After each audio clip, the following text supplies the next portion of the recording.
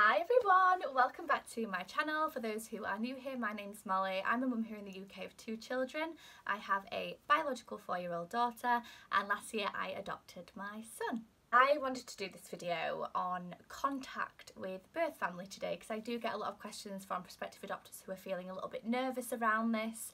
They're not sure how they feel or they're awaiting training on this or their family finding and kind of weighing up how they feel about the suggested contact and it's a really big part of the adoption process. It's one that is very scary and there's a lot of unknowns for a lot of prospective adopters. So I'm going to talk a little bit about the training we received, uh, my views on contact and how generally contact kind of works in the UK adoption process.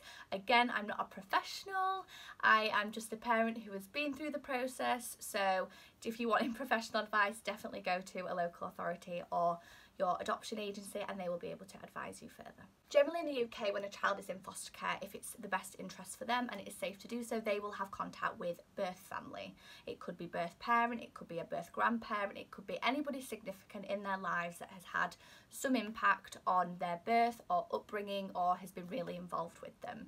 It could be weekly, fortnightly, monthly, whatever the court kind of deems suitable and most likely it would happen at a contact centre when a child is basically placed for adoption or the decision has been made for a child to be placed for adoption, what normally happens with contact is that a final goodbye visit will be arranged. So a child and the birth family member will meet for one last time before the adoption takes place as a goodbye contact visit. Now this is not always the case, it does depend on the kind of contact that the court and the social worker kind of recommend for the child ongoing after adoption post placement. Sometimes you would have direct contact with birth family, sometimes you would have indirect contact with birth family and I'm going to go into a little bit more detail about that quickly. When you are looking to adopt a child, you will get their child permanence report. So when you found a little one and their social worker thinks, yes, we're interested in you as their parents, you will receive a child permanence report, which is a report detailing all of that child's life. And in that will be kind of a recommendation about the kind of contact that a social worker and sometimes a court will deem most suitable for that child. So you will always have an idea of the kind of contact that has been proposed before you commit to adopting a child. So when we saw our son's profile, there was a little section that said suggested contact. Um, as his social worker, I suggest that this kind of contact is the most suitable because uh, sometimes I believe it can be court ordered um, or the court has some kind of input, but I believe in our circumstances, a social worker proposed the kind of contact that would be most suitable for our little man. There are two types of contact. There can be direct contact and indirect contact. So it's exactly as it sounds. Direct contact is that face-to-face -face contact.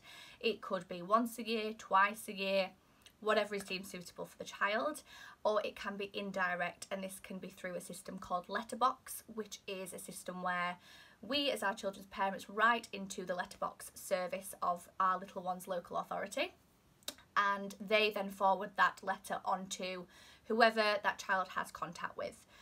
Could be any member of birth family. It does not have to be a birth parent. It could be a birth grandparent. It could be a sibling. It could be an auntie, a birth uncle, anybody who is significant in that little one's life, who has maybe been a previous caregiver, or anybody who has expressed interest in wanting to continue contact with the child after they're placed for adoption. The idea of letterbox is that birth family would receive a letter, they would then write back send that into the letterbox system as well. There's just one address that all these letters go to and there will be someone dedicated to letterbox in each local authority that kind of sorts out who, what goes where, what's sent on. They vet all of the letters to make sure everything's suitable and if not it's sent back and you have to redo it. Letterbox tends to be the most popular form of contact but again you could have indirect or direct contact with your child's birth family. The timeline of contact will again be suggested in the child's permanence report. It might be a couple of times a year. Um, I've heard the most usual one is, you know, if you're doing letterbox once a year, you have an agreed time to write and birth family kind of agree a time to write back. Um, but again, that's something that is case dependent and it depends on what's most suitable for the child.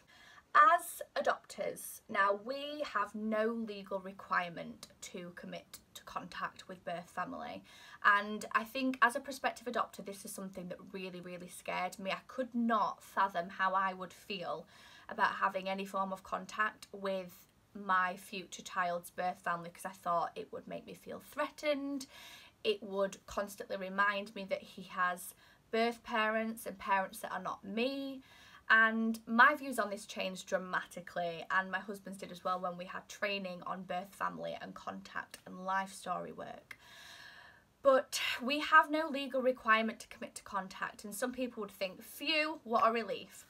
But once you have educated yourself on the benefits of contact for your little one and for yourself and for birth family, you might have a very different opinion. There are a whole host of benefits for contact for a, a, child and for birth family and for yourself and I will cover those after I have talked about what is called a one-off meeting. So a one-off meeting is sometimes offered to you when you are adopting your child um, again, it depends if it's safe, it depends if it's in the best interest of you and birth family and the child. If it is safe to do so and everyone is happy to do so, again, it's not forced, it's completely optional for you and for birth family, but highly encouraged is to have a one-off meeting with birth family. And this is normally supervised. It's normally at a mutual location, normally a contact centre, and I believe it is mediated between social workers or contact centre workers. Um, I believe your adoption social worker normally goes to support you and I do believe that birth family normally have a support worker or a social worker or somebody supporting them. And what it is it's exactly what it sounds like. It's a time for you to meet birth family which sounds terrifying.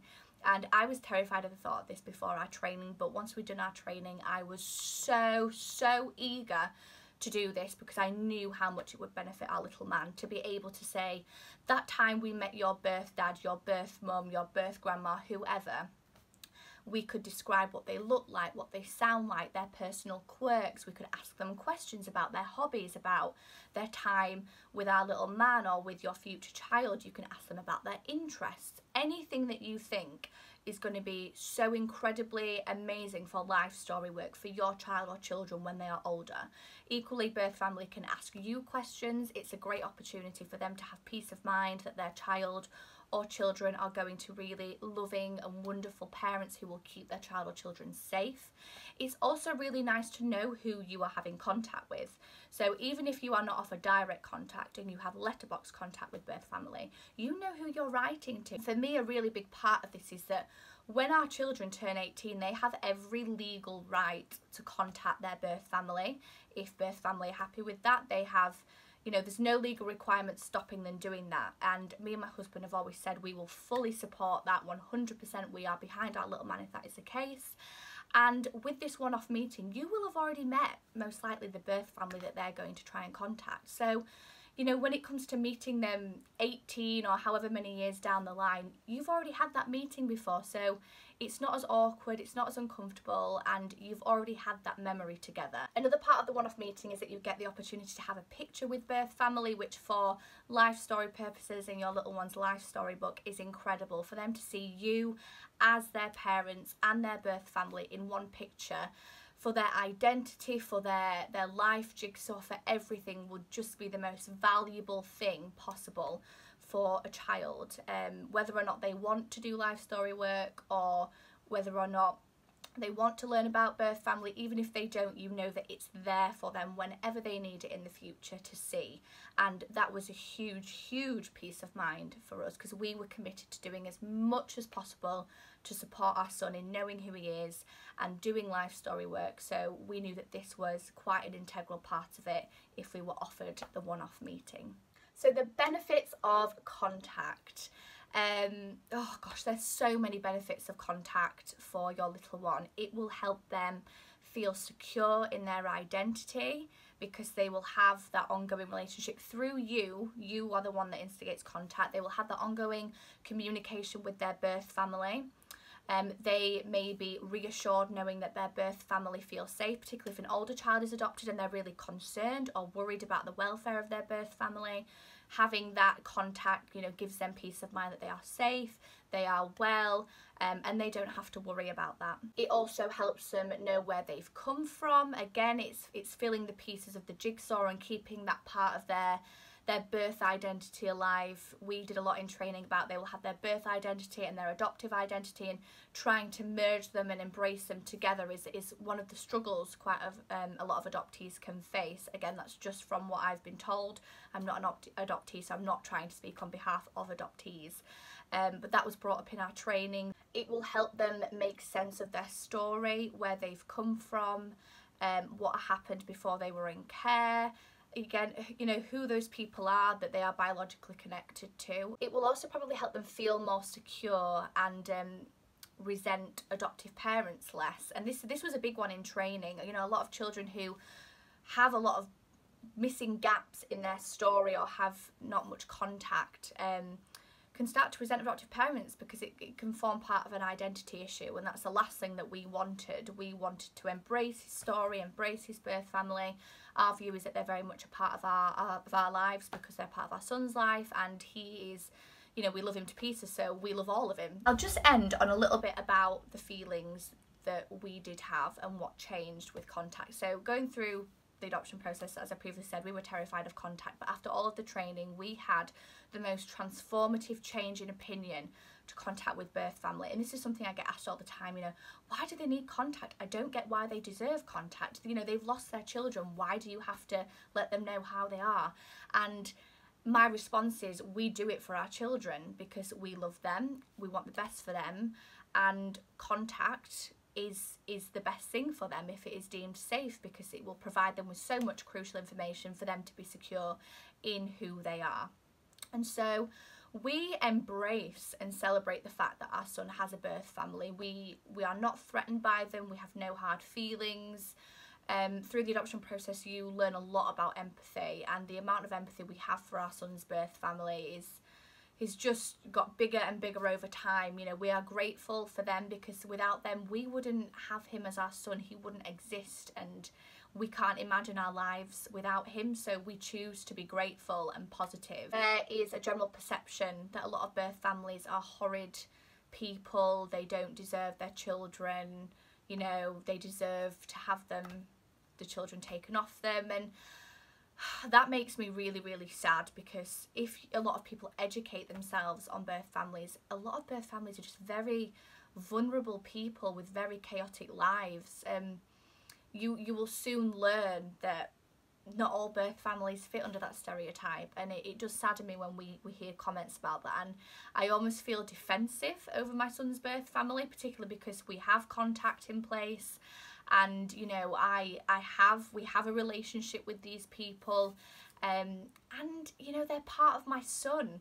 And so when somebody says something negative or insinuates something negative I get defensive for him because they are his they always will be his and they are a part of who we are who we are and who he is. One of the things that I always discuss with my friends is that you don't just adopt a child you adopt their life you adopt their story you adopt their past um, and that includes birth family. And for us, I am so grateful that we have contact in place because, you know, I do hope that one day my son can meet his birth family and that they can be a part of his life and our lives in, in some way, even if that is, you know, when he's 18 or 50 or whatever he chooses, it will be completely led by him. You know, when your child turns 18, you do effectively lose control over the relationship that they can have with birth family is up to them to choose. And my kind of viewpoint is that we just want to be 100% supportive. We want our son to be secure and happy and feel loved by as many people as possible including birth family. And that is that is what we are going to go down the path thinking you know fully support um, and just be ready for it and embrace it. So contact is something we really really pleased um, that is happening for us. And I hope that this video has given some insight into how contact works, the kinds of contact, and just I wanted to share my opinion on it because I know that it is a real worry for a lot of people. But please go on, go on your training, ask questions to your social worker. Um, if your agency or local authority does offer specific birth family contact training, please go on it, even if you think you're set in your opinion. Um, you might be surprised at what you learn and how you feel after. So I hope that has been helpful. I've been wanting to do this video for such a long time, but I kind of wanted to wait for a period of time where we'd we'd had kind of some contact and we'd had some proper experience of it and we'd gone through all of our training and we'd kind of really settled on how we feel about it before I made it. So I feel fully confident in how we feel about it. But if anybody does have any questions, uh, please comment below or you can message me on Instagram at Molly Mama Adopt. I'm happy to um, share some of my other thoughts on it or if you've just if you're just curious about parts of the training then just please head on over and ask me some questions and please also subscribe to my channel for more adoption related content. I'm going to try and upload weekly if I can. Thank you for watching guys. Bye!